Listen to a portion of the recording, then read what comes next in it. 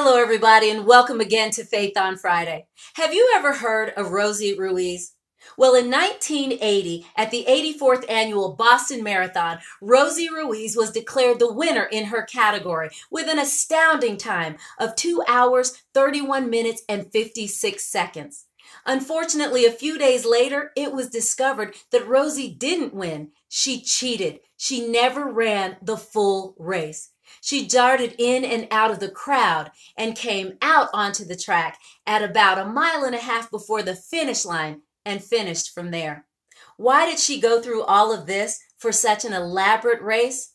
Rosie said, I wanted to win.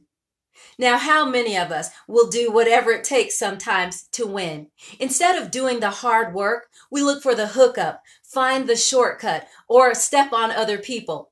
Sure, we may actually win doing that, but that win is never long lasting.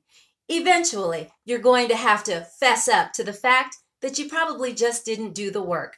If you're really going to win in life, in business, in relationships, in your finances, you're going to have to do the hard work. You're going to have to sit down and learn it. And then you're going to have to do more training. And then you're going to have to stand up, fall down, fail, and win. But in the end, if you keep trying, you will win. And you'll win the best way possible because you earned it. So instead of taking the easy left, sometimes it's about taking that hard right. Winning isn't everything. Being honest, keeping your character, standing up for what you believe in, those are the things that help you to really win. But those things also take hard work. You've heard it said that nice guys finish last. And do you know why they do?